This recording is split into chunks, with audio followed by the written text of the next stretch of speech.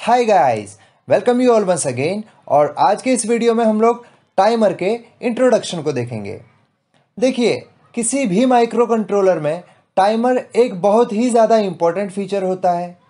अगर इसके यूजेस की बात की जाए तो डिफरेंट वेव फॉर्म्स को जनरेट करने में हम इसको यूज़ करते हैं। इसके अलावा, हम पल्सेस को अगर काउंट करना चाहते हैं तो वहाँ पर भी टाइमर का यूज़ होता है। तो आगे आने वाली वीडियोस में हम लोग देखेंगे टाइमर की एप्लीकेशंस को और उसको इम्प्लीमेंट करके देखेंगे। फ़िलहाल, आज के इस वीडियो में हम लोग टाइमर के बेसिक को कवर करेंगे। तो बिना किसी देर किए हुए, मैं वीडियो को शुरू करता हूँ। देखिए, सबसे पहले हम लोग समझ लेते हैं टाइमर होता क्या है। टाइमर सिंपली एक रजिस्टर है जो अपने अंदर कुछ वैल्यूज़ को होल्ड करता है। और ये जो वैल्यूज़ होंगी, ये बाइनरी फॉर्म में होती हैं मतलब कि ज़ीरोज़ और वंस की फॉर्म में होती हैं। और इस रजिस्टर की एक स्पेशल प्रॉपर्टी होती है कि ये अपनी जो वैल्यूज़ होती हैं, उसको ऑटोमेटिकली इंक्रीज या फिर डिक्रीज करता है विद रिस्पेक्ट टू टाइम अब जिस फ्रीक्वेंसी से हम लोगों का टाइमर अपनी वैल्यूज़ को चेंज करता है, उसको हम लोग टाइमर्स फ्रीक्वेंसी बोलते हैं। अब टाइमर को फ्रीक्वेंसी चाहिए तो मतलब इसका कोई एक सोर्स भी होना चाहिए। तो आप देख सकते हैं यहाँ पर, हम लोग इंटरनल क्लॉक सोर्स या फिर एक्सटर्नल क्लॉक सोर्स को यूज़ कर सकते हैं अपने टाइमर की फ्रीक्वेंसी के लिए। इसके बाद आप लोग देख सकते हैं, टाइमर की जो फ्रीक्वेंसी होती है वो इंडिपेंडेंट होती है सीपीयू फ्रीक्वेंसी से, और टाइमर फ्रीक्वेंसी लेस देन और इक्वल टू हो सकती है हम लोगों के सीपीयू फ्रीक्वेंसी से। और प्रोग्रामर चाहे तो टाइमर की फ्रीक्वेंसी को डिक्रीज कर सकता है डिवीज़न फैक्टर से, और इसी को हम लोग प्री स्केलर बोलते हैं। तो समझ लेते हैं एक बार हम लोग प्री स्केलर के कंसेप्ट को।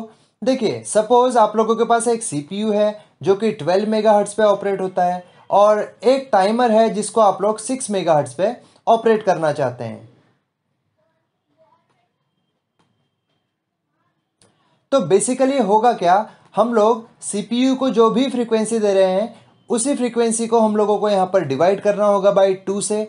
तो ये जो डिवीज़न फैक्टर होता है, इसी को हम लोग प्री स्केलर बोलते हैं। तो यहाँ पर होगा क्या? जो भी सिग्नल यहाँ पर आएगा, उसको हम लोग एक सर्किट से पास करेंगे और ये सर्किट बेसिकली इस 12 मेगाहर्ट्ज को डिवाइड करेगा और इसके बाद जो भी यहाँ पर आउटपुट आएगा, वो हम लोग अपने टाइमर में देंगे। और यहाँ पर आप लोगों को एक चीज़ ध्यान देनी है, जो प्री स्केलर होते हैं, वो हम लोगों के फिक्स होते हैं। और वेरी करते हैं micro controller to micro controller मतलब कि यहाँ पर जो डिवीज़न फैक्टर है, वो फिक्स होंगे। जैसे कि यहाँ पर टू एक डिवीज़न फैक्टर हो सकता है वन ज़ीरो टू फोर एक डिवीज़न फैक्टर हो सकता है। तो ये basically micro controller to micro controller vary करता है। इसके बाद हम लोग देख लेते हैं एवीआर के टाइमर्स को। देखिए एवीआर में दो टाइप्स के टाइमर्स हो सकते हैं। एक आपका एट बिट टाइमर है और दूसरा सिक्सटीन बिट टाइमर है। जो एट बिट टाइमर होगा, वो अपने अंदर ज़ीरो से लेके टू फिफ्टी फाइव तक की वैल्यूज़ को स्टोर कर सकता है। और वहीं दूसरी तरफ़, हम लोगों का जो 16 बिट का टाइमर होगा, वो ज़ीरो से लेके six five five three five तक की वैल्यूज़ को होल्ड कर सकता है। और जब भी हम लोगों के टाइमर मैक्सिमम वैल्यू पे रीच करते हैं, उसके बाद वो इनिशियल वैल्यू पे रिटर्न करते हैं। मतलब कि अगर हम लोगों के पास 8 बिट का टाइमर है और वो 255 तक पहुँच चुका है तो वो अगेन उसके बाद रिटर्न होके ज़ीरो में आएगा। और इस प्रोसेस को हम लोग बेसिकली बोलते हैं टाइमर ओवरफ्लो इस चीज़ को आप लोग इस डायग्राम से समझ सकते हैं। यहाँ पर हम लोगों के पास एट बिट का टाइमर है और इसकी इनिशियल जो वैल्यू है वो ज़ीरो ज़ीरो ज़ीरो ज़ीरो है। तो बेसिकली होगा क्या? हर एक टाइम पीरियड के बाद ये अपनी वैल्यूज़ को चेंज करता रहेगा, यहाँ पर वन होगा, फिर टू होगा, और इसकी मैक्सिमम जो वैल्यू है वो 255 तक जाएगी। और जैसे ही ये 255 पहुंचेगी, इसके बाद हम लोगों का जो टाइमर है, वो इनिशियल वैल्यू पे जाएगा मतलब कि अगेन टॉप से बॉटम में ज़ीरो में जाएगा। तो इसी प्रोसेस को हम लोग बोलते हैं टाइमर ओवरफ्लो नेक्स्ट हम लोग देख लेते हैं फ्रीक्वेंसी प्री स्केलर और बिट रिजोल्यूशन का सिग्निफिकेंस क्या है? सपोज़ हम लोगों के पास एक सीपीयू है जो वन मेगा पे ऑपरेट होता है और अगर आप लोग यहाँ पर प्री स्केलिंग यूज़ नहीं करेंगे तो टाइमर की जो इफ़ेक्टिव फ्रिक्वेंसी है वो भी वन ही मेगा रहेगी। तो इसके करस्पॉन्डिंग हम लोगों का जो पल्स है, उसका टाइम आएगा one into ten to the power minus six मतलब कि one into ten to the power minus six seconds के बाद हम लोगों का जो टाइमर होगा, वो अपनी वैल्यूज़ को चेंज करेगा। अब यहाँ पर हम लोगों का जो टाइमर है, अगर उसका बिट रिजोल्यूशन 8 बिट्स का है, इसका मतलब ये होगा कि ये मैक्सिमम 255 तक अपनी वैल्यूज़ को होल्ड कर सकता है।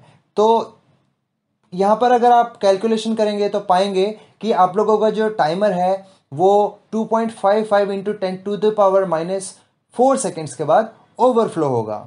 वहीं अगर आप लोग बात करें वन मेगा की फ्रीक्वेंसी और कोई भी प्री स्केलर यूज़ नहीं करेंगे और बिट रिजोल्यूशन अगर आपका 16 बिट का होगा तो यहाँ पर हम लोगों का 6.055 point zero five five into ten to the power minus two seconds में टाइमर ओवरफ्लो होगा।